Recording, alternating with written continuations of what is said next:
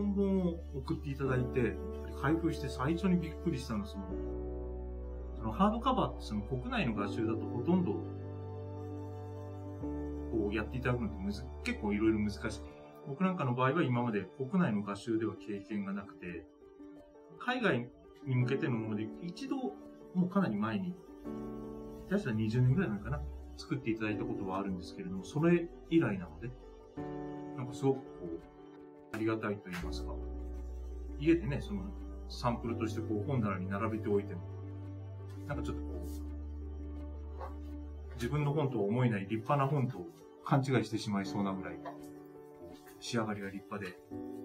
ちょっと嬉しいですよね。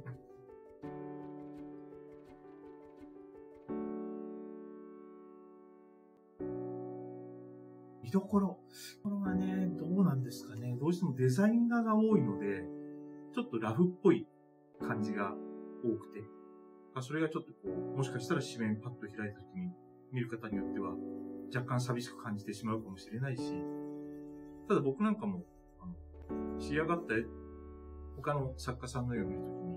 仕上がった絵も好きなんですけれども、意外とラフとか、そういったものも好きなので、キャラクターのデザインにしても、完成稿よりもラフ画が好きだったりする、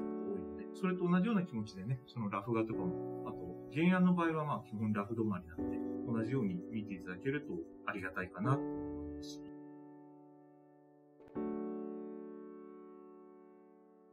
最近ね、その、もともと仕事が遅いんですけど、年とともにどんどんこう、仕事が本当に遅くなってますんで なんかこういう作品を発表させていただく機会っていうのもね、本当にもうどんどん減ってしまってますけれども、まだ当分ね、活動は続けていきますし、